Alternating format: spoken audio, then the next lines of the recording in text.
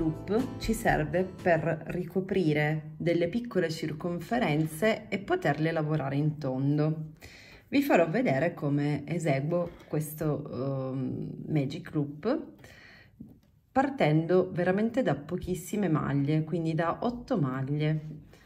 Avvio 8 maglie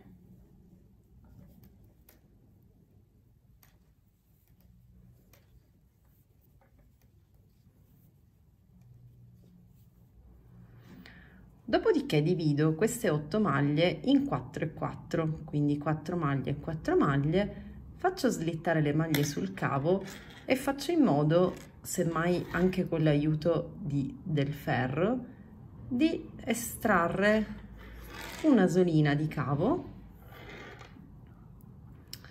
in modo da suddividerle in due parti uguali. Dopodiché sposterò, tenendo le punte in parallelo verso destra, sposterò tutte le maglie sui ferri. Metterò i ferri in parallelo e farò in modo di avere il ferro con il filo attaccato dietro. Quindi questa è la posizione. Abbiamo quattro maglie davanti, quattro maglie sul ferro posizionato dietro.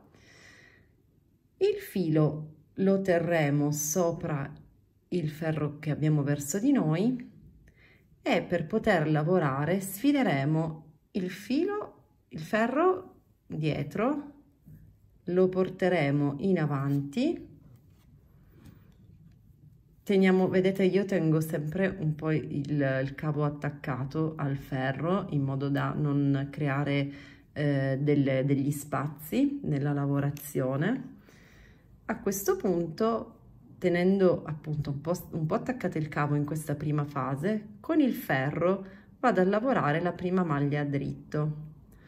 Quindi entro nella maglia a dritto e lavoro la prima maglia. Attaccatevi bene al cavo, quindi al set di maglie che sono sul retro. Lavoriamo eh, una maglia nel caso della, eh, io adesso sto realizzando la Knitted Four Corner Bag di Julie Weisenberg, mi dice di mettere un marcapunto e io lo inserisco, dopodiché mi dice di lavorare inserendo i marcapunti, per cui io li inserisco giusto per farvi vedere poi come farò gli aumenti, però la lavorazione è questa finisco il mio set di maglie che sono eh, diciamo le quattro maglie che avevo sul ferro verso di me.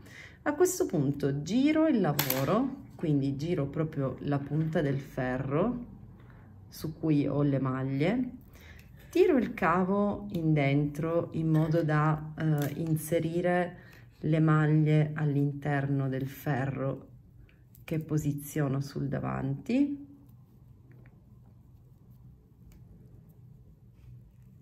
Faccio in modo di ecco, inserirle. Dopodiché riparto con la stessa lavorazione di prima quindi il filo che ho sulle maglie vedete questo è il set di maglie che ho appena lavorato che sono le maglie dietro. Il filo è attaccato al ferro che ho sul retro. Anche qui estraggo la punta la tiro un po verso l'esterno e riprendo a lavorare sulle maglie che ho sul ferro verso di me. Quindi da qui punto e lavoro. Ok. Adesso eh, diciamo il lavoro continua così.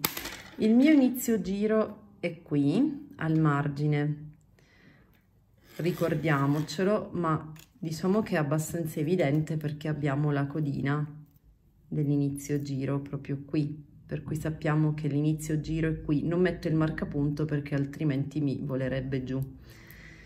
Continuo con la lavorazione e poi mh, diciamo che per praticità potreste a un certo punto, quando, perché adesso si aumenterà, ricordatevi sempre il filo sopra, eh, man mano si aumenterà, per cui eh, io preferisco sempre poi spostarmi le maglie in modo tale da poter mettere un marcapunto, il marcapunto di inizio giro e non dovermi ricordare dove ho l'inizio giro perché potrebbe essere qui o potrebbe essere da quest'altra parte.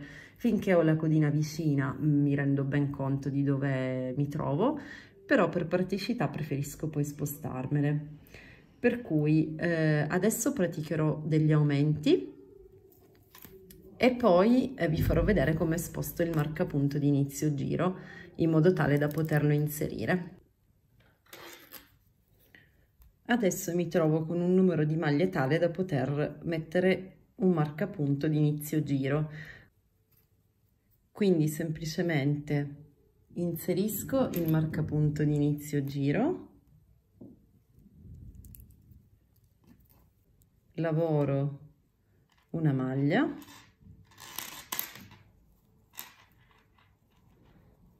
ne lavoro ancora una. Dopodiché faccio in modo lavoro quindi due maglie dopodiché slitto tutto il ferro lo tiro in fuori in modo tale da eh, riallineare le due maglie sull'altro set di maglie anche se il numero poi appunto non è esattamente uguale, quindi come di partenza in cui avevamo diviso le maglie in parti uguali, non è un problema. E, ehm, questo mi permette, ora vi farò vedere, continuando ad eseguire il Magic Loop, di avere un marcapunto di inizio giro che mi segnala dove inizia il giro e sistemato in modo tale da non sfuggirmi dai cavi. Giro il lavoro. Sono arrivata al mio inizio giro, quindi passo il, il marcapunto di qua e le maglie, le ultime due maglie su questo ferro di sinistra che stavo lavorando saranno quelle del giro successivo.